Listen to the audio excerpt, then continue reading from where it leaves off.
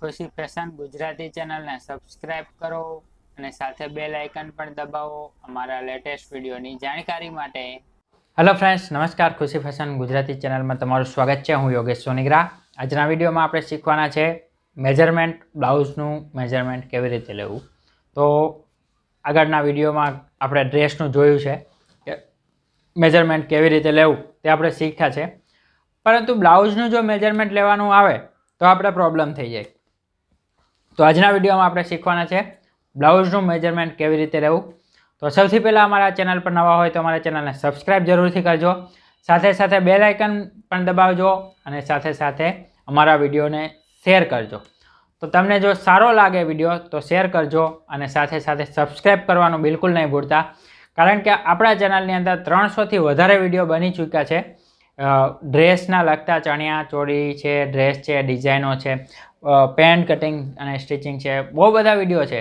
તો તમે એક વખત સર્ચ કરજો પ્લેલિસ્ટમાં જશો તો અત્યારે ઓનલાઈન ક્લાસ ચાલુ છે.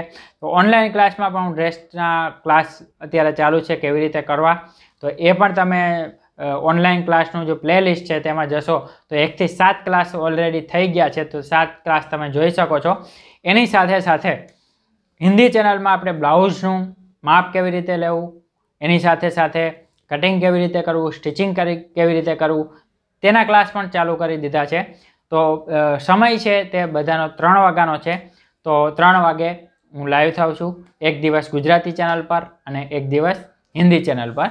તો બંનેમાં તમે સર્ચ કરજો અને સબસ્ક્રાઈબ કરવાનું બિલકુલ નહીં ભૂલતા. તો આજના વિડીયોની શરૂઆત કરીએ.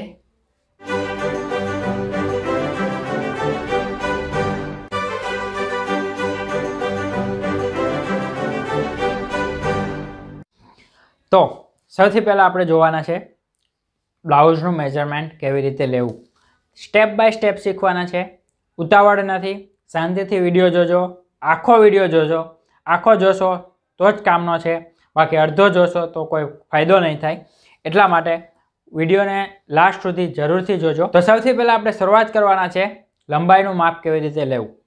તો જ્યારે પણ આપણે બ્લાઉઝની વાત આવે, ડ્રેસની વાત આવે લંબાઈનું માપ તો ડ્રેસ આપણે હંમેશા આગળથી લેતા હોઈએ છીએ. પણ જ્યારે પણ આપણે બ્લાઉઝની વાત આવે છે, ત્યારે આપણે પાછળથી માપ લેવાનું શરૂઆત કરીએ. તો કારણ કે આગળનો ભાગ છે બ્લાઉઝમાં હોય, તે થોડોક મોટો હોય અને પાછળનો ભાગ હોય, તે પરફેક્ટ હોય. તો આપણે જે પરફેક્ટ માપ હોય, એ જ માપથી આપણે માપ લેશું. તો સૌથી પહેલાં આપણે બેક સાઈડ જોશું. તો બેક સાઈડમાં લંબાઈનું માપ લેવાનું છે. તો લંબાઈનું માપ કેવી રીતે પરફેક્ટ લેવું એ ધ્યાનથી જોશો તો ખ્યાલ આવી જશે. સૌથી પહેલાં આની લંબાઈ છે, અહીંયા શોલ્ડર જે જગ્યાએ જોઈન્ટ હોય, આગળ અને પાછળના ભાગમાં શોલ્ડર જોઈન્ટ હોય, ત્યાંથી મેજરમેન્ટ રાખવાની અને આ પ્રમાણે લંબાઈ લેવાનું. આની લંબાઈ છે સાડા ચૌદ. થોડોક નજીકથી હું બતાવું, એટલે તમને ખ્યાલ આવી જશે. સૌથી પહેલાંની લંબાઈ જોઈએ, તો આ જે લંબાઈ છે તે સાડા ચૌદ ઇંચની છે. તમે જોઈ શકો છો. તો આની લંબાઈ સાડા ચૌદ ઇંચની છે. તો જે પણ મેજરમેન્ટ આવતું હોય એ તમારે મેજરમેન્ટ લખી લેવું. તો સાડા ચૌદની આની લંબાઈ થઈ. એના પછી ચેસ્ટનો ભાગ, કમરનો ભાગ બંને મેજરમેન્ટ કરી લઈએ. તો ચેસ્ટમાં આપણે અપર ચેસ્ટ અને ફૂલ બસ્ટ બંનેનું માપ લેવાનું હશે. અને કમરમાં અહીંયા જે જ્યાં સુધીની લંબાઈ હોય, ત્યાં સુધીનું મેજરમેન્ટ લેવું. તો સૌથી પહેલાં આપણે અપર ચેસ્ટ જોશું. અને અપર ચેસ્ટ છે ચોત્રીસ ઇંચ. અપર ચેસ્ટ એટલે આ ગળું હોય, એના લેવલમાં ઉપર. આ જે ફૂલ બસ્ટ હોય, એની ઉપરથી માપ લેવું. અને અહીંયાનો જે ભાગ હોય આર્મોલનો ત્યાંથી આ પ્રમાણે ઉપર લેવું. તો એ થઈ ગઈ અપર ચેસ્ટ તો અપર ચેસ્ટની લંબાઈ છે સોરી અપર ચેસ્ટ છે ચોત્રીસ ઇંચ. એના પછી આપણે જોવાના છે ફૂલ બસ્ટ તો ફૂલ બસ્ટનું મેજરમેન્ટ આ પ્રમાણે લેવું.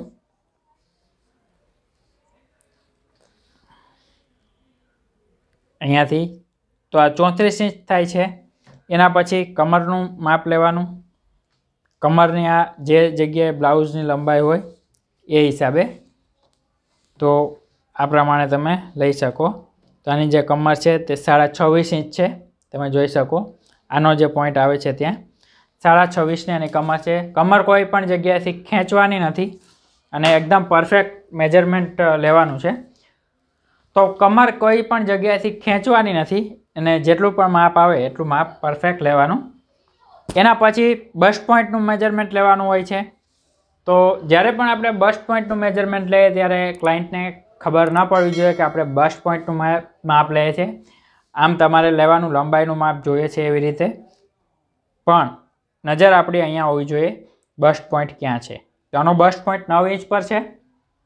તમે જોઈ શકો. નવ ઇંચ પર બસ પોઈન્ટ છે.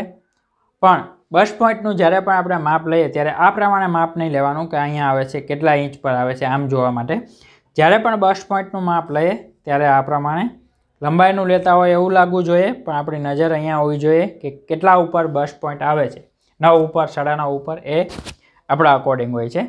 એના પછી કટોરીવાળું બ્લાઉઝ હોય અને પહેરેલું પણ કટોરીવાળું બ્લાઉઝ હોય તો આ બેલ્ટનું માપ પણ લેવું.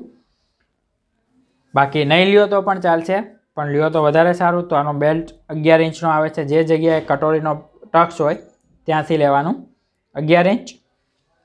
અગિયાર ઇંચ પણ થઈ શકે અને એની નીચે બાર ઇંચ પણ હોઈ શકે. બધામાં અલગ અલગ હોય. તો આમાં આપણે અગિયાર ઇંચ છે, તો આપણે જ્યારે પણ આનું કટિંગ કરીએ ત્યારે અગિયાર ઇંચ રાખી દેવાનું. એના પછી પાછળનું ગળું જોઈએ.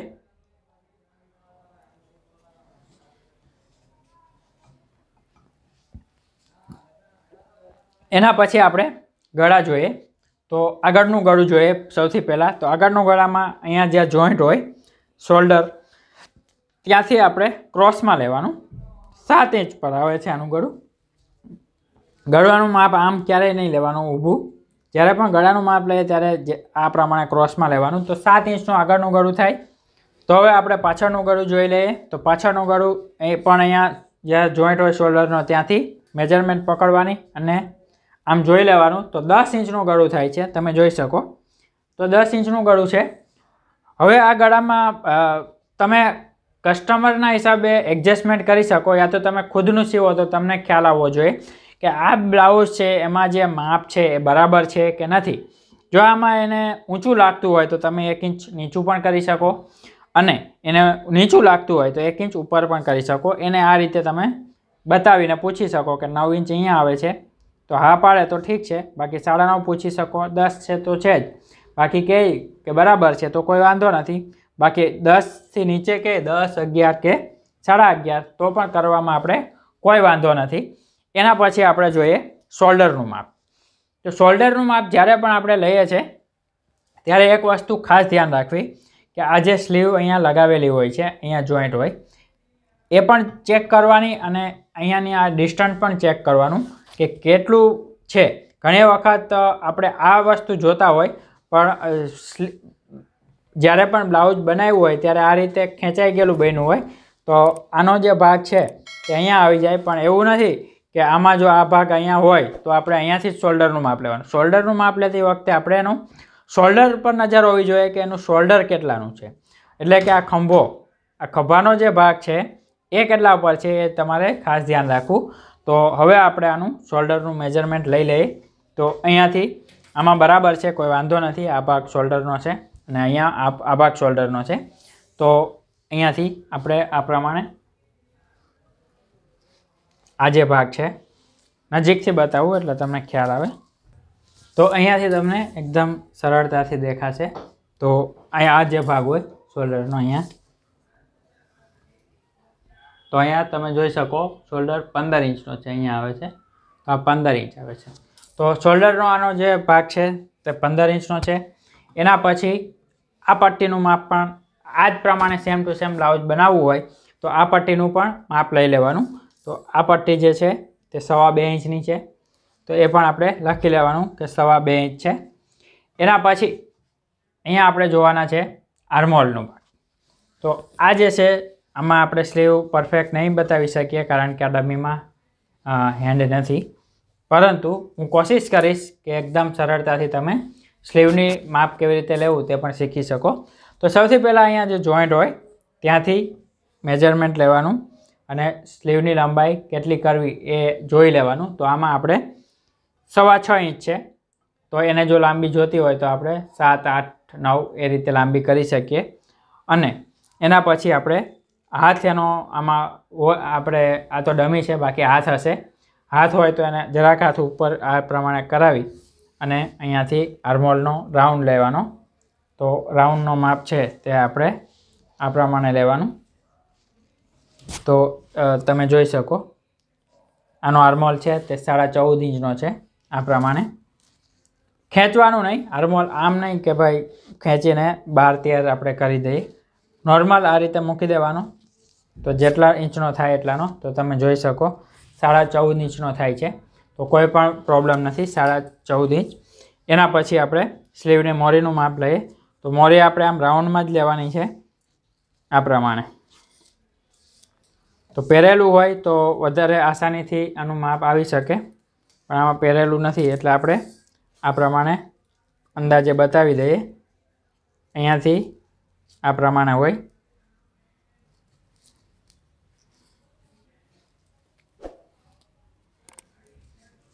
અને અહીંયાથી આપ જોઈ લેવાનું. તો આમાં બાર ઇંચની મોરી થાય છે. તો છ ઇંચ આવે અડધું, એટલે આ બાર ઇંચ આવે. તો બાર ઇંચની મોરી છે. તો તમારે એમાં, તમારા અકોર્ડિંગ હોઈ શકે, કોઈ પણ જાતનો પ્રોબ્લેમ નથી. તો આ પ્રમાણે આપણે બ્લાઉઝનું માપ લેતા હોઈએ છીએ. તો તમે જોયું, બ્લાઉઝનું માપ કેવી રીતે લેવું પરફેક્ટ તો ઉમ્મીદ છે કે તમને વીડિયો પસંદ આવ્યો હશે. અને અમારી સાથે તમે જોડાવા માટે નીચે વોટ્સએપ ગ્રુપ છે. એમાં તમે ડિસ્ક્રિપ્શનમાં વોટ્સએપ ગ્રુપ છે. એમાં તમે વોટ્સએપમાં અમારી સાથે જોડાઈ અને કોઈ પણ ક્વેરી હોય તો તમે એમાં પૂછી શકો. અથવા તો આના રિલેટેડ કોઈ પણ ક્વેરી હોય, સિલાઈને રિલેટેડ તો તમે કોમેન્ટ કરીને અમને જણાવી શકો છો. તરત રિપ્લાય મળશે. અને એની સાથે સાથે અત્યારે આપણે ઓનલાઈન ક્લાસ ગુજરાતીમાં પણ ચાલે છે અને ઓનલાઈન ક્લાસ હિન્દીમાં પણ ચાલે છે. તો એમાં જોડાવવું હોય તો ત્રણ વાગે આપણે ક્લાસ સ્ટાર્ટ કરીએ છીએ. તો એમાં બિલકુલ ફ્રી ક્લાસ છે. તો તેમાં તમે આસાનીથી જોડાઈ શકો. લાઈવ સવાલ જવાબ, હું લાઈવ સવાલ જવાબ કરું છું પાંચ મિનિટ પહેલાં અને પાંચ મિનિટ પછી. પહેલાં એટલા માટે કે કોઈને કંઈ પૂછવું હોય તો પૂછી શકે અને પછી એટલા માટે કે મેં જે પણ શીખવાડ્યું હોય, એમાં કોઈને કંઈક સંકોચ હોય, પૂછવાનું હોય, તો એ એકદમ સહેલાઈથી અને એકદમ આસાનીથી પૂછી શકે.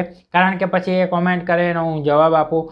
એના કરતાં લાઈવ ફેસ ટુ ફેસ હું તમને એનો આન્સર આપી દઉં અને તમને એકદમ સેટિસ્ફાઈડ થાય કે એકદમ વ્યવસ્થિત જવાબ તરત જ મળી જાય. અને બીજો પણ કંઈ ક્વેશ્ચન હોય, જ્યારે જેવો કે તમે કંઈ પૂછ્યો ને મેં જવાબ આપ્યો, એનાથી તમને જો સંતોષ નથી હોય તો ફરીથી કોઈ બી પ્રશ્ન એને રિલેટેડ તમે પૂછી શકો કે આમાં તમે આમ કીધું, પણ આના લીધે કેમ આમ થાય.